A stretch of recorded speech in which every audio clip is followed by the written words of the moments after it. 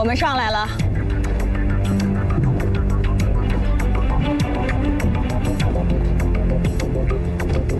我们没有带枪。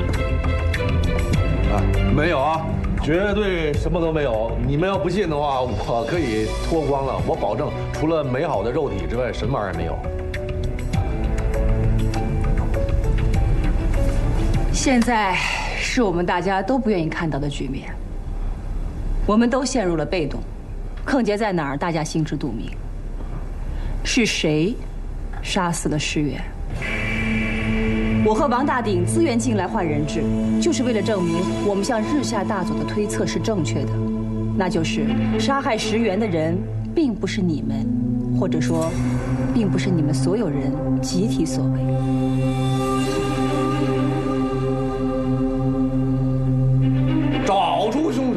或者证明凶手不在你们当中，剩下的问题就好办了。即使找出凶手，你方也不会解除封锁。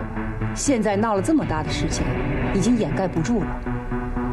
你们各自的外事机构估计已经都快发疯了吧？如果日下大佐的判断是错误的，你们认为他能顶多大的压力呢？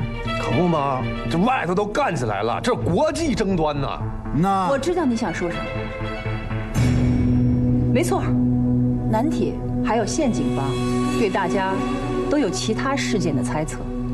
但事件归事件，杀人归杀人。如果大家不能恢复常态，还怎么克制的交流？说实在的，我最担心的是我的判断是错的。如果杀石原真的是你们所有人由于某种未知的阴谋而共同为之，那我和王大鼎就只能认栽了。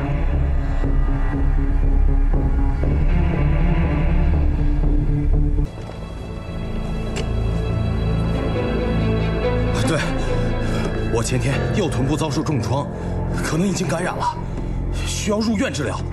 地址是和平饭店四零三房间，姓龚。哎，需要救护车啊！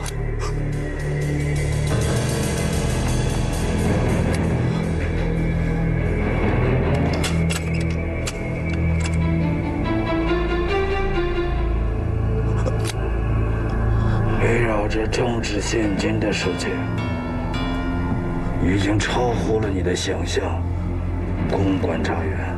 我我不知道你在说什么。如果你一直跟在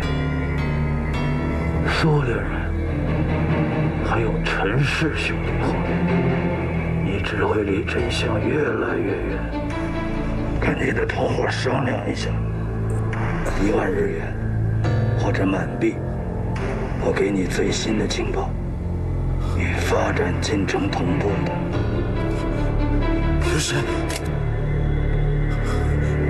一个小时以后，支票放到歌舞厅音箱的后面。我给你情报，别回头，子弹可不长眼睛。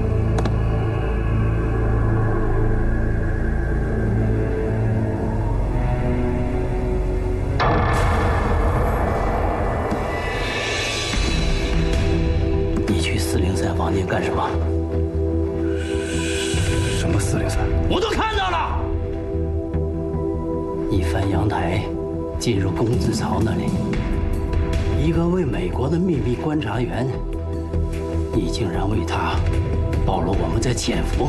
水，请你一定要听我解释。我不听你解释。去很多年了，什么情况，我早有了判断。石原，你一定要理解我，拜托了，一定要理解我。一万块高利贷，一万块钱我拿什么还？我得干多少大案要案我才能还清楚？这次你放了我，你保。我从今往后你不会再信任我到头了。作为满警，我们不能犯错。我说的难道不对吗？我像狗一样扑在案子上，我得到的是什么？是阻力，是全他妈阻力！来自上司的自私，来自上司的愚蠢，患得患失，吃着碗里看着锅里，还有更高层的丑闻，我都得扛错，我都得背锅。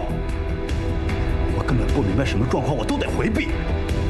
可是这个案子所有的线索从头到尾都得回避，我要回避什么？你告诉我，石原。石原，我选择低眉顺目，是因为我他妈活明白了。我作为满警没有主动的权利，我只有选择，我只有选择无视。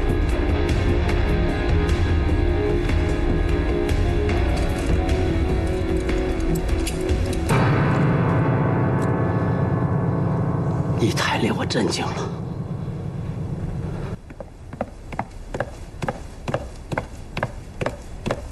日下大佐，杨红的尸体在运往东阿地处理之时，遭遇不明武装劫持。姚红的尸体遭遇不明武装劫持，是。同志的尸体，唐玲，一定是唐玲纠集了更多的人。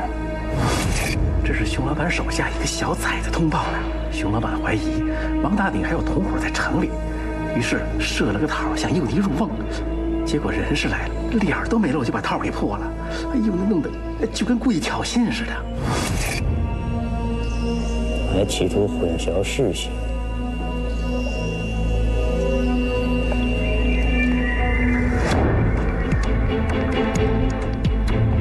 立即分出两个班组前往东麻地，一组配合追踪不明武装，一组封锁东麻地以北及东北的两处离境道路。其余两个班组，一组巡查临近区域，以防不明武装调返城内；一组留守驻地以备机动。警务局增派便衣，侦警布查东部所有公共场所以及流动人员密集的场所，宁可错抓，不可放过一名可疑嫌疑之人。消肿了，消肿了，这个自己人啊，自己人，自己人，消肿了傻缺！哎呀，老妹儿，在东北生活习惯吗？吃的还好吗？哼，长什么玩意儿？事发突然，而且局面已是被动，我们必须增派大量人手进行搜捕。不过请放心，我会跟警务局统筹调配的，保证和平饭店的有效监视。你们尽管去犹太银行进行调查，一旦有所发现，我们再做搜捕。这会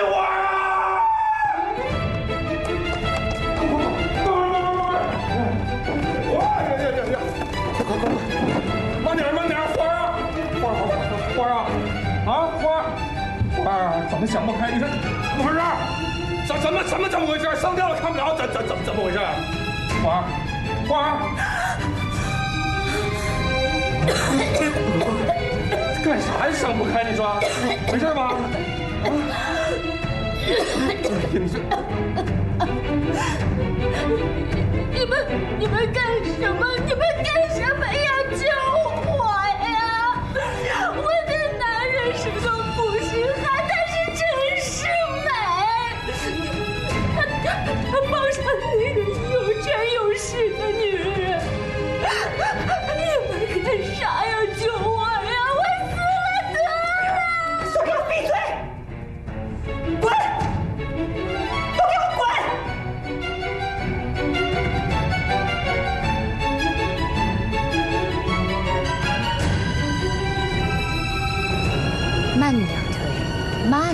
慢点推，哎，小心台阶啊！干啥呢？让你慢点儿，啥素质啊！真是。小姐，干啥呀？管你，还有他的。那你推吧。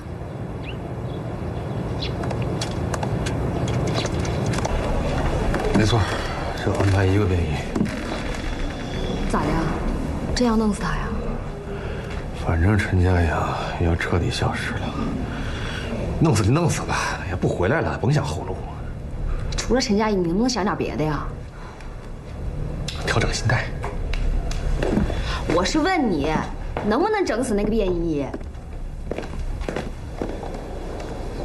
非常感谢今天你对我的协助，不客气。再见。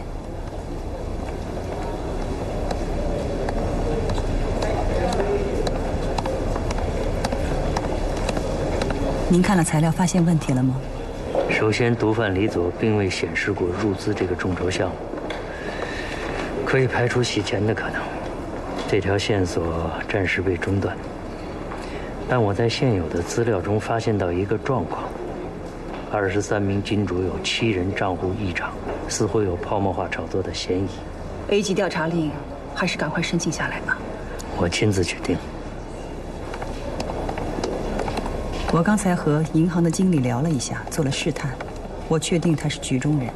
在您回来之前，我会留在这里，我要看住他，避免他销毁那些重要的资料。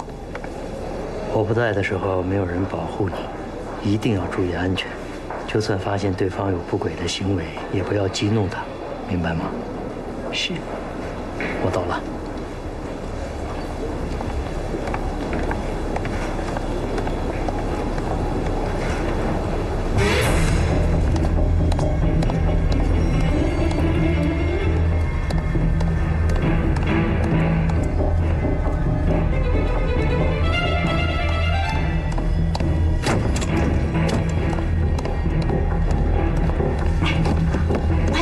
没对呢，老多钱了。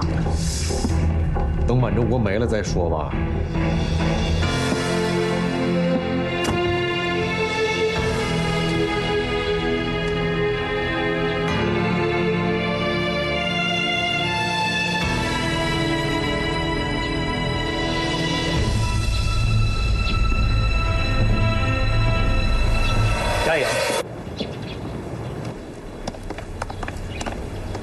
饭店那边出事了，日下部派人接我们回去，石原被人谋杀了。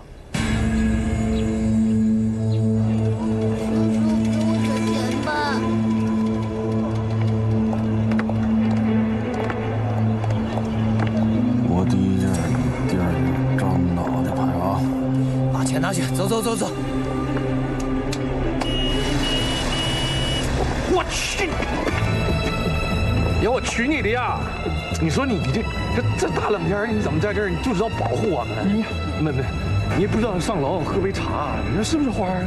可不咋的。嗯，谁来了呀？嘟嘟嘟嘟嘟嘟就来了。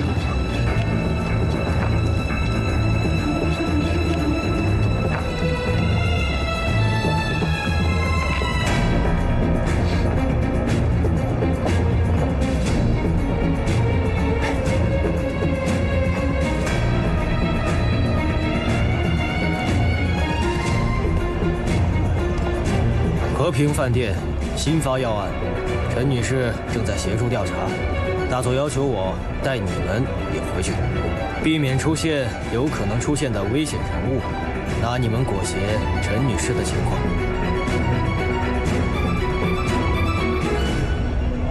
日下部知道消息都快要疯了，派人接我们回去，主要是你说有你介入可以尽快的查找到凶手。知道什么情况到什么程度，我跟你一样的清楚。但是现在日沙部正在气头里，我们必须回去跟他见到面，才能跟他摆明主子关系。给关东局打报告，让他出局吧。现在已经来不及了，除非证明石原的死是一个独立案件，与政治现金无关。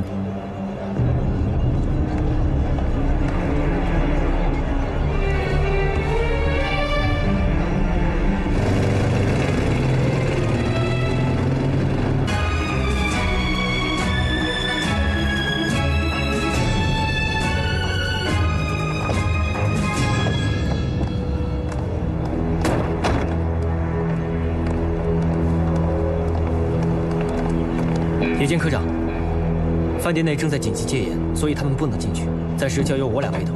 按照程序，我俩本应离开了。行，你先去吧。你们在这等我。日下大佐，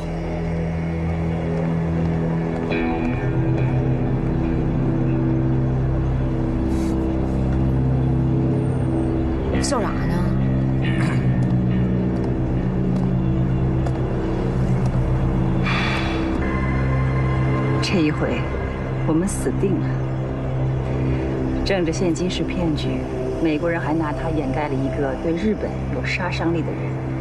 这一切我都隐瞒了，原以为可以一走百了，谁知道这一次我玩的这么失败。我是没有给自己留后手的，按道理说我应该沮丧才是。可奇怪的是，我开始相信这是缘分。想想也是啊，之前都是给自己撒谎，每一句都有后手。现在呢是给那帮人撒谎啊，谁一嘚瑟，窗户纸都会漏。不过又在一起干得娘了，想想还是很刺激的。不过说好了。之前都是你抢了风头，这回我是主角。嗯。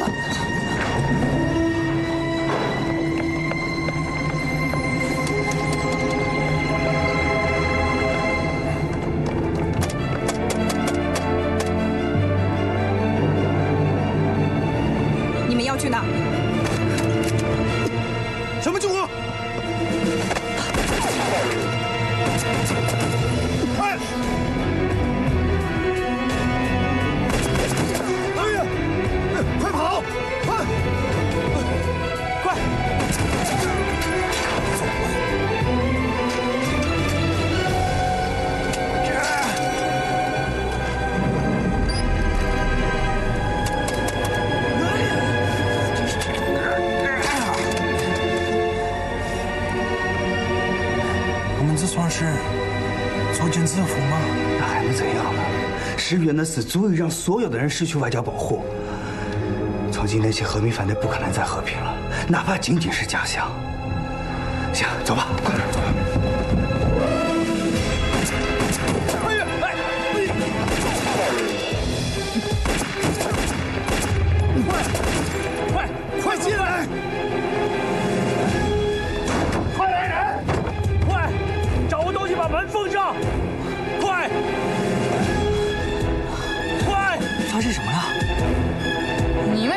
谁知道？来来了！干什么呢？快！快把它锁上！搬一些重物，把这里堵死。还有西北路梯间。这叫什么路子？三号仓有枪支，我们握着是话语权。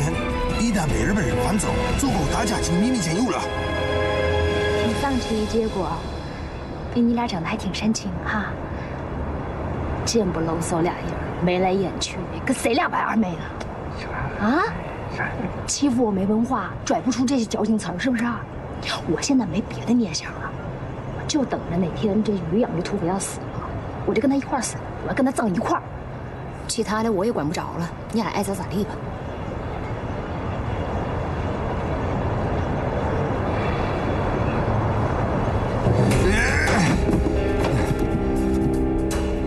好了，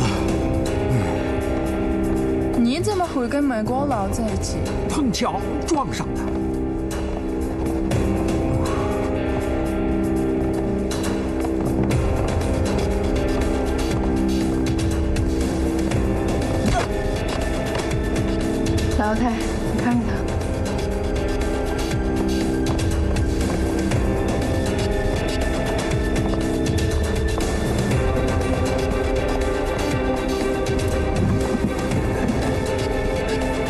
上行的路，再把四楼的门封上。哎你有没有使劲啊？哎呦，重死了！哎呦，哦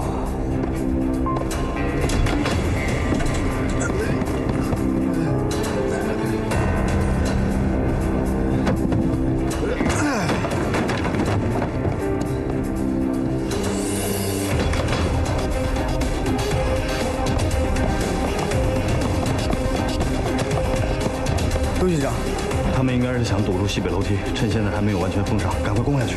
是是。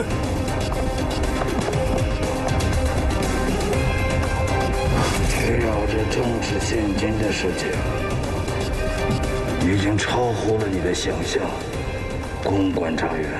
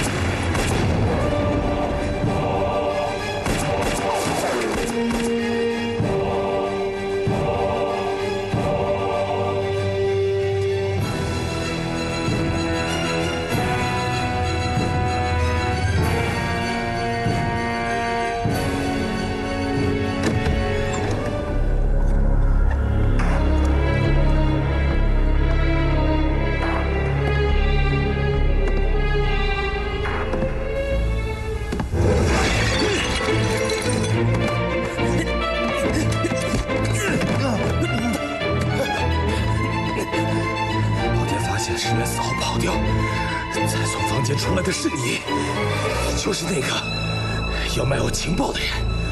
石原一定是发现了你，才被你灭口。你现在又想灭我？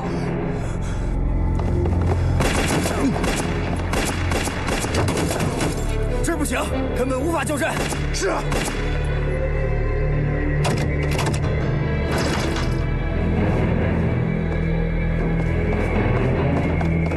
说话！你，你到底是什么人？谁在说话？知道些什么？别开枪！小心！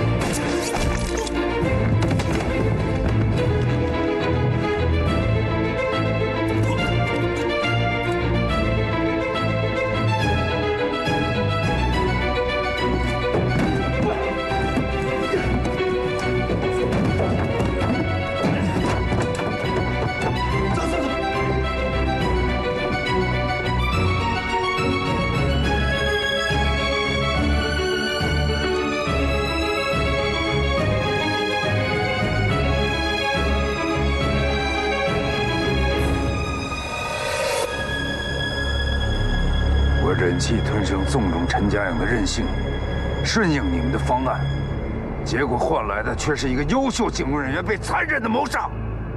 谋杀！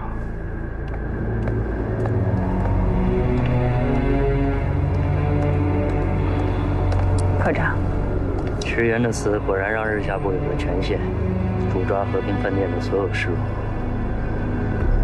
我不知道他跟关东部是怎么协调的。之，被授予的权限，我们需要配合。除非能证明石原的死是独立案件，跟政治现金无关。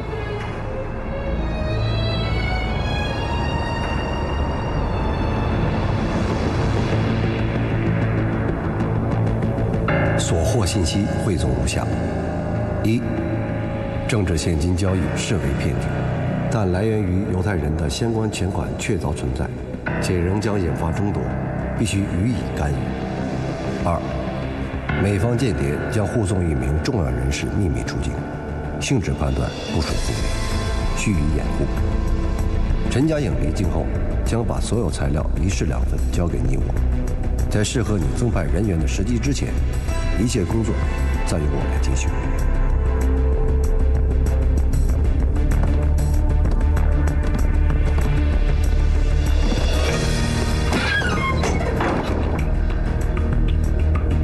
哥和刘金花又被带走了。和平饭店。和平饭店。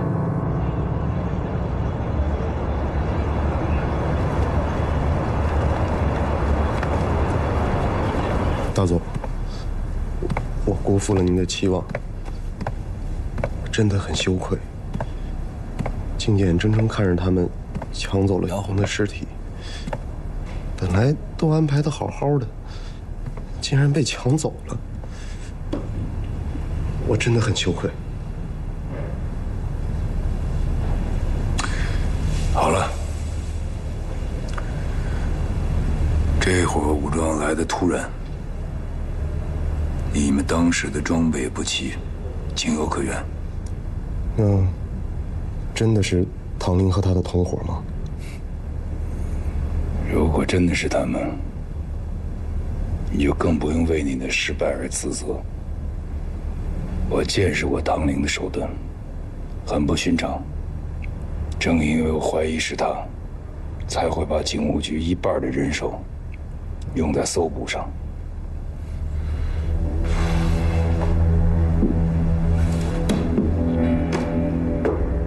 失败是成功的动力，打起精神来。是。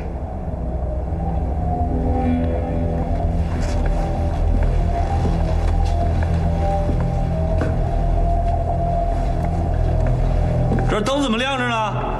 谁在这儿呢？不知道马上要清场了吗？哟，大佐，不知道您在这儿呢。这马上就要封闭了。窦警长，裴警员身上有很多专业特长，我决定正式将他调回来。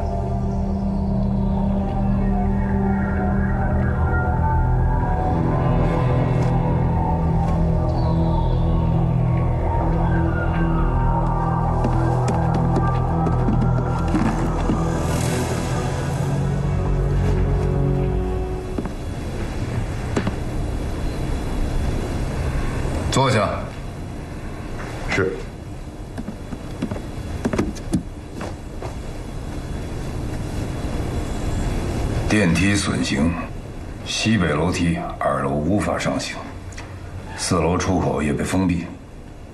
同时被封闭的还有三楼南端的安全门。三楼有什么蹊跷呢？会让这些人同时都聚集在那儿，未曾可知。但有一点是可以肯定的：这些家伙已经开始对我们宣战了。我为什么没有让宪兵发起进攻？因为我觉得这种穷凶极恶的对抗状态非常的好。我要让他们所属机构都看见，从此给我闭嘴！我要把这里变成地狱。实在是是我的职责疏忽。没有保护好石原，一定是他发现了关于政治现金的线索，然后被人灭口了。现在下定论，太草率了吧？我和维护现场的便衣做了了解，有一个现象很难解释：在石原的尸体旁边有一把他自己的手铐，证明最初他是准备抓捕凶手的，后来进行了搏斗。没想到被凶手杀害。你们奉命留在酒店里，负责监视，除非出现非常可疑的现象，你们必须马上秘密的向外通报。你们是幽灵。到底是发生了多大的事情，让石原不惜暴露自己的身份，现身抓人？政治现金交易，背景复杂，即使是最高级别的调查单位，对此。也是慎重对待，不到水落石出，谁敢决定哪个该抓，哪个该留，哪个该策反？石原不是新人，怎会如此鲁莽？你土匪还是小白脸？艺术家。哎。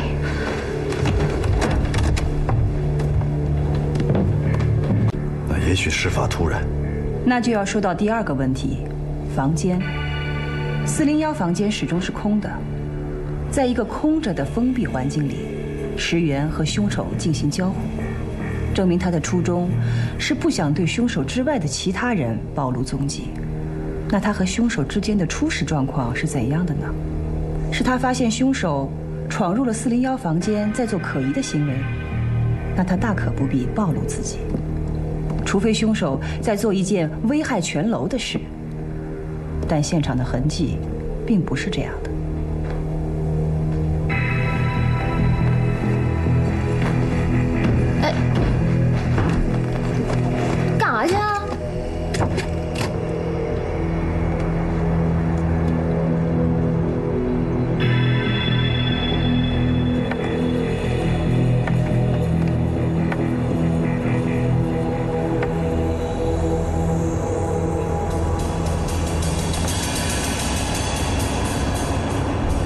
那么，就是必然性的汇聚。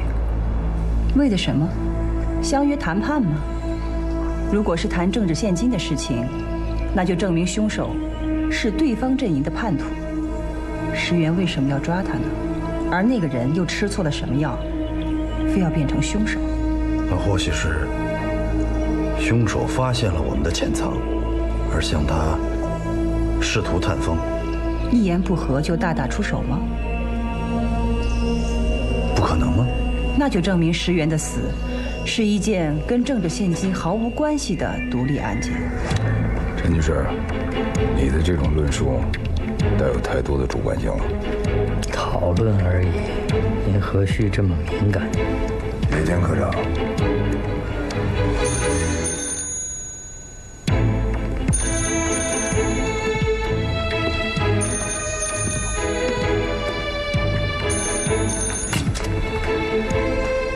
日下部，那线儿没被切断吗？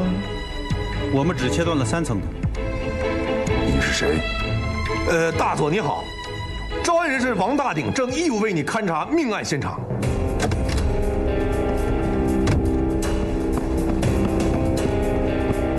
所有房间的电话都打不通了。什么？封锁我们所有对外的消息？看来日本人是玩狠的了。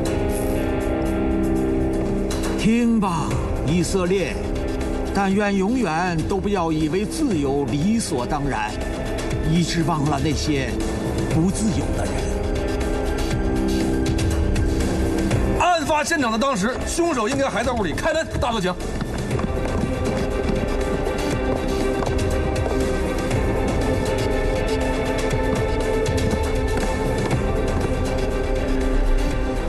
误会我摸他屁股是出于色情原因，而袭击我的那个保洁出于愧疚以及隐隐的爱慕之情。哎呦我天哪！啊，非常客观的从头到尾跟我描述了一下石原被害的整个过程。你的前缀太长了。当时情况是这样的，那个保洁员听到屋里边有声音，于是他向屋里喊话。这个时候反而屋里没有动静了，于是他掏出钥匙夺门而入，却发现石原就倒在了血泊之中，所以他夺门而逃。那当时的情况很明显了，他逃跑的时候，凶手还在这个屋子里。以我多年土匪的经验来看呢，凶手，哼，是个老手。他很清楚，一个普通人受到惊吓后的本能反应就是逃跑。你之前的职业不用强调了。我是要表达一下你招安我的正确性。干啥呢？是聊正事了吗？来，各位看官这边请。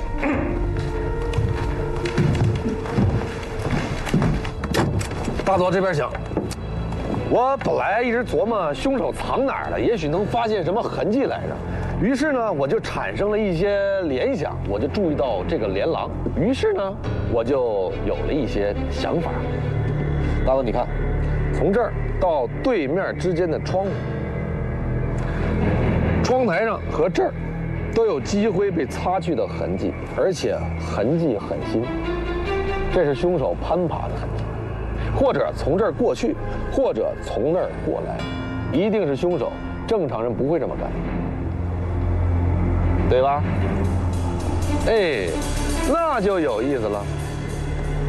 对面是四零三的卧室，那个假导演因为屁股挨了枪子儿，一直趴在床上没法动弹，直到他因为袭击窦警长而被便衣击伤，所以他不可能没见过凶手。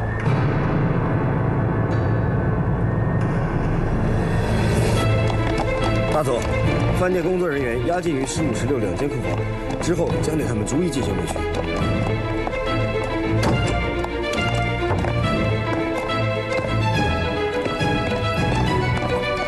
他怎么样了？子弹击伤脏器，若抢救及时，也许还有希望。但是我来的比较晚，现在说，快说，你到底在阳台上看见了什么？谁爬了你的阳台？看见没有？杜警长，他现在已经没有意识了。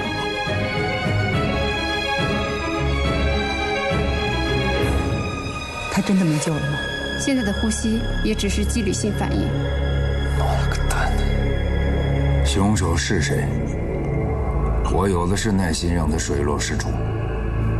百惠还在他们手里，趁他还有气儿，拿去交换。哎。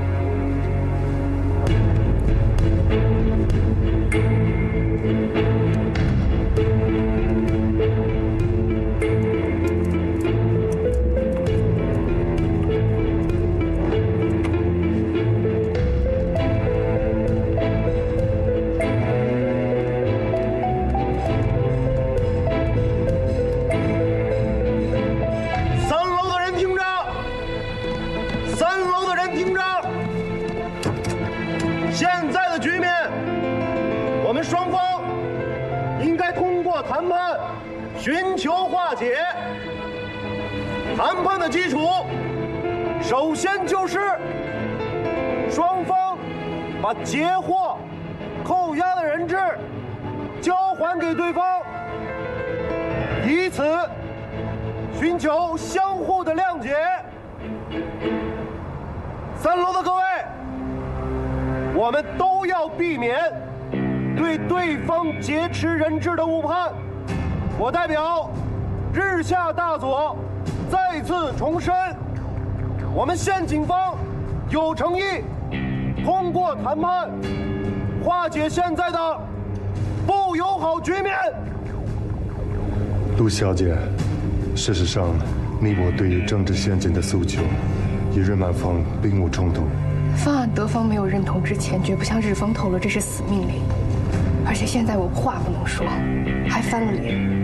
石原被杀的第一嫌疑人就得是我，我被闷在瓮里了。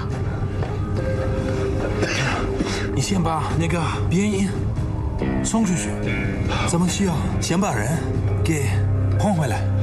别轻易送出去，人质在我们手里。也是有话语权的。不，公国权必须回来，必须。现在的局面是各方所不愿见，我们同意谈判解决，也同意交换人员，但为了确保谈判公平性，我们要求交换人员之前，先恢复三楼的供电，接通电话。并通知各国外事人员到达饭店参与谈判。苏里人疯了吧？布尔什维克永远天真。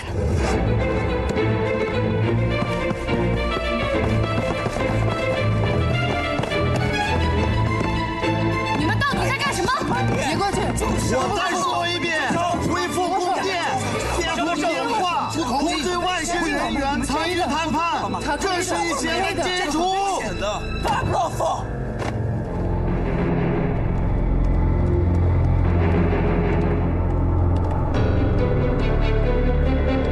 这帮人太狂妄了。我建议双方各出一名谈判官，先进行一下初步的交涉。交涉？这个人都快死了。大佐，大佐，我想他们只是虚张声势吧。他们手上只有警惠这一张牌，杀了警惠，他们是给自己找死；而我们杀他，只是早了些送他上路而已。裴秋成，杀他足以震慑那些家伙，让他们明白，他们没有对抗的资格。大佐，杀一个将死之人以作震慑，可以说是废物利用，非常划算。很好。我们要让咱们清楚的认识到，在这片土地上，由谁来掌握生杀大权。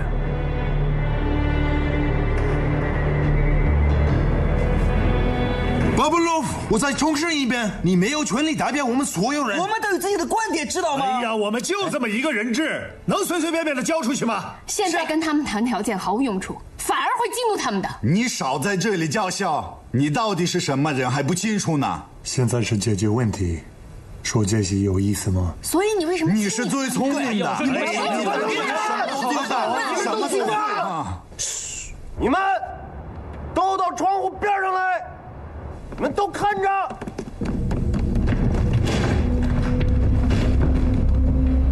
你们将看到，任何的要挟都只有一个下场。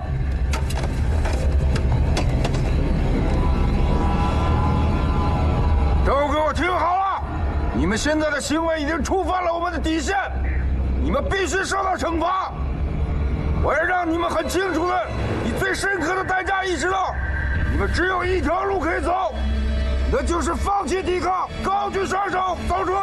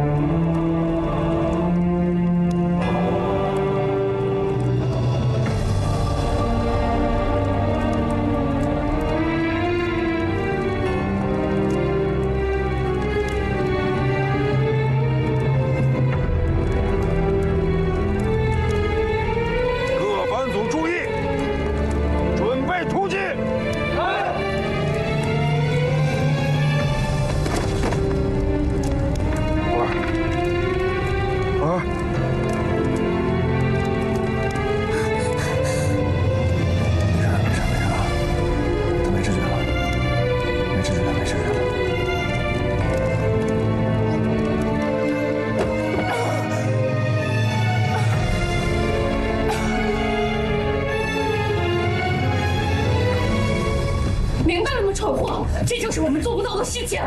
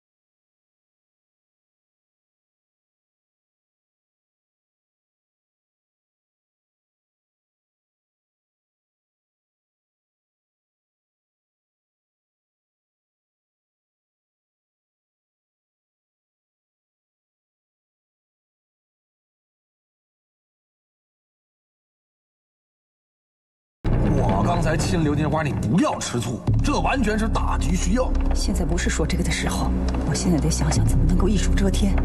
如果不能证明石云被杀是一个独立案件的话，我就不能控局，不能控局我们就死定了。到那个时候，你和刘金花就不一定能葬在一起了。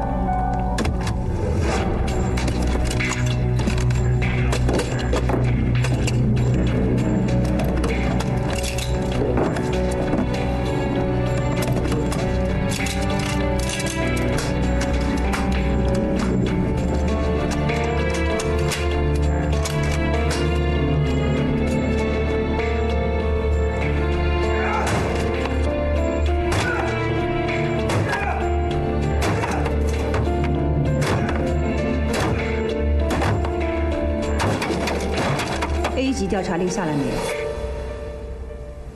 野间科长现在没有时间，你直接过来吧。就直接说犹太银行涉嫌洗钱。对，马上。可是这帮烂货都跟日本人干起来了，咱能镇住他们吗？不知道，但我只能这么做。震翻他们是我现在唯一可走的路。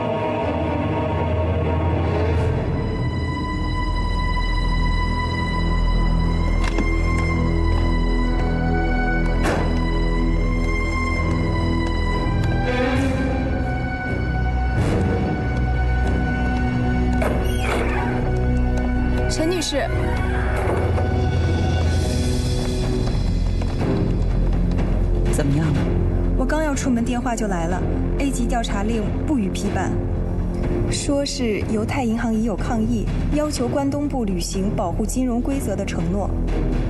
好吧，我转告已经科长。陈女士，您辛苦了，我先告辞了，再见。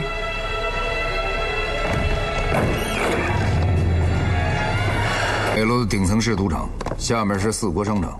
我刚得知消息，这两个区域都备有小型柴油发电机作为应急之需。赌场的柴油储存量可供发电一百小时。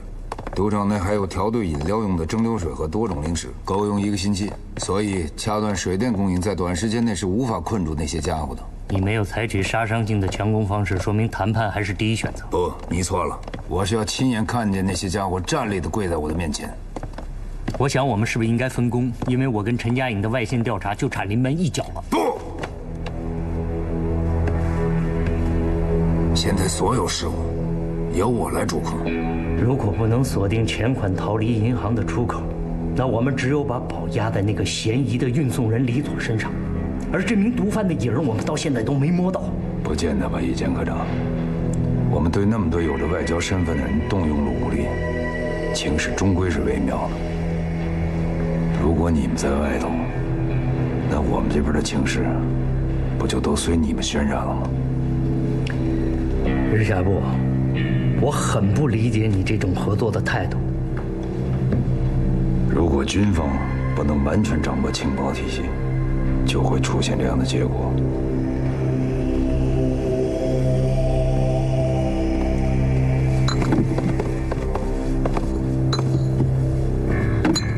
我去电机房检查下柴油。你好像对这里很熟嘛。以前我是这里的常客，后来钱输光了。刘德林真算是高手了，深藏不露。我回忆的家的秘密，都被他看在眼里。所以，你们要小心呐、那你呢？我我早就后悔了，当时我应该投降才对，莫名其妙的就被大家拽上了贼船，没事，也便有事了。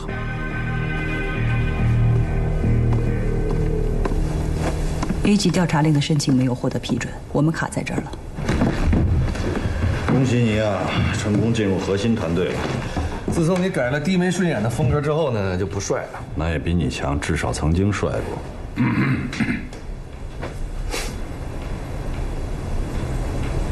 饭店里的住客藏过发报机，撕拉过外线，甚至还有枪支。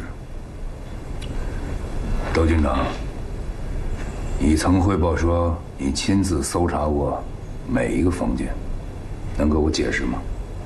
实在是抱歉，我所见过这种高档场所非常有限，并不知道从吊顶到房顶之间会有这么大的空间，竟然还可以藏东西。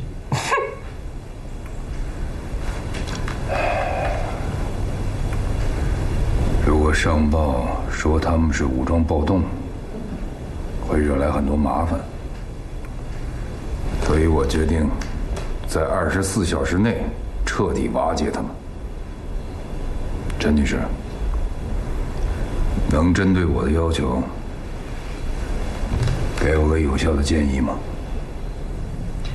事实上，我相信，他们比我们更加迫切想知道谁是杀害石原的人，因为只要凶手另有其人，他们的外事机构就更加有底气了。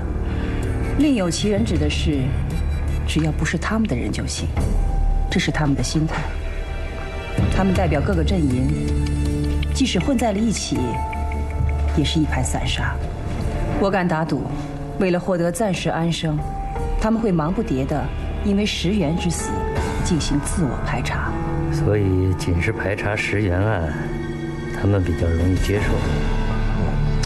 只要使点巧劲儿，就能让他们自己斗自己，很轻易就瓦解掉了。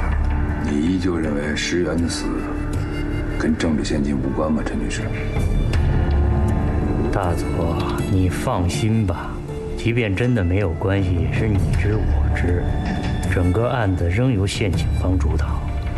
大佐，我请求去和他们谈判。警长，去了就得拿自己交换人质。都是老警察了，还用担心这个？那既然拿石原案为由头，那当时在楼里的人就都要避嫌。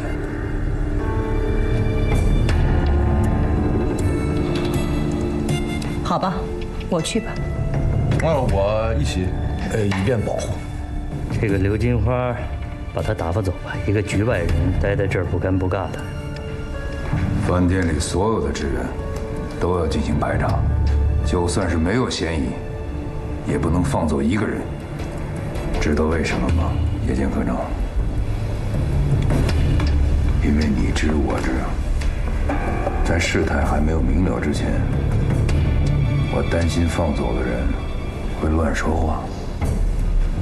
你不会怀疑我授意他什么吧？诚心而言，我确实有这个担心。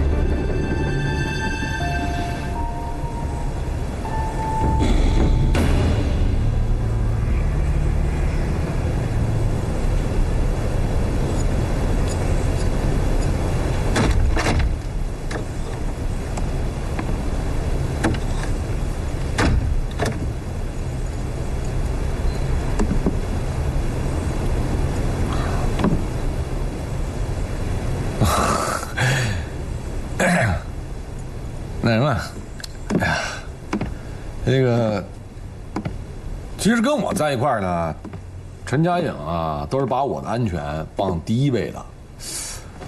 他对你也一样，真的。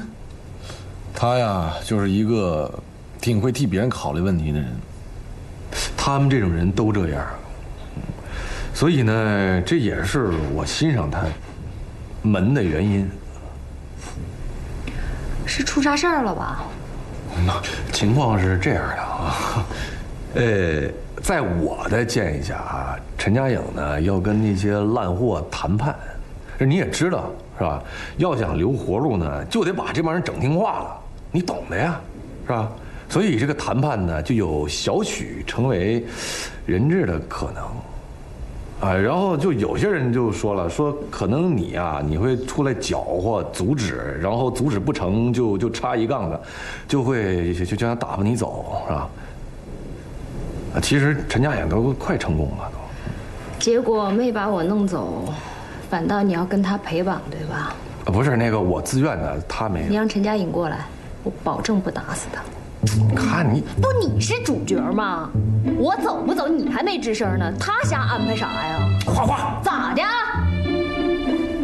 我我知道啊，咱俩是一伙的，是吧？你替替我担心，你说你也就是冒过凶险，出过力，在关键时刻起到过作用，是吧？我挺感激你的，但你不能因为这样，你就一说话就凌驾我的态度，就跟我说话，是不是？王大顶。你就是个人渣，你知道不？你到底懂不懂啊？就算他们能放我走，你还搁这儿呢，我能走吗？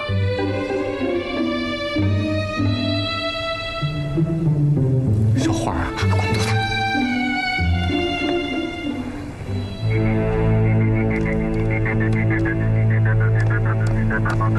我们看一下，好。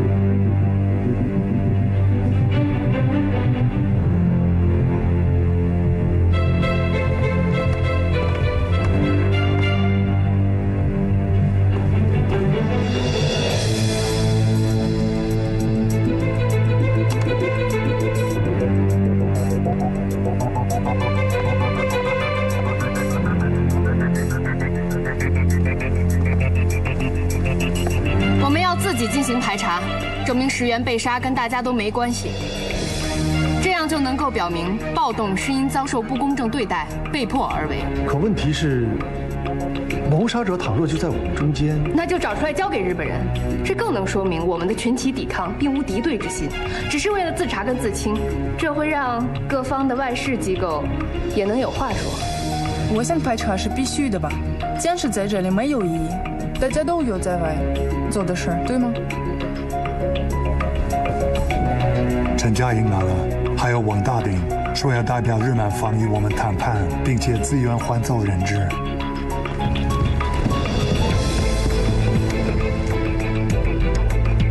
我们上来了。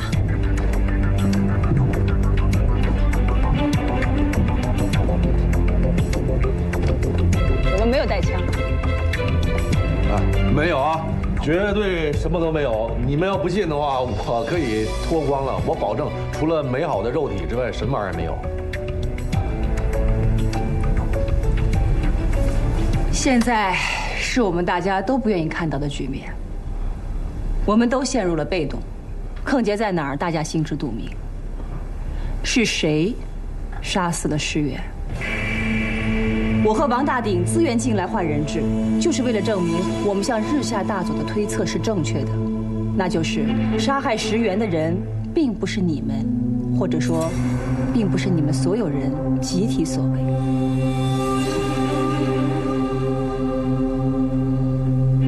找出凶手，或者证明凶手不在你们当中，剩下的问题就好办了。即使找出凶手，你方也不会解除封锁。现在闹了这么大的事情，已经掩盖不住了。你们各自的外事机构估计已经都快发疯了吧？如果日下大佐的判断是错误的，你们认为他能顶多大的压力呢？可不嘛，这外头都干起来了，这国际争端呢。那我知道你想说什么。没错，南铁还有县警方对大家都有其他事件的猜测，但事件归事件，杀人归杀人。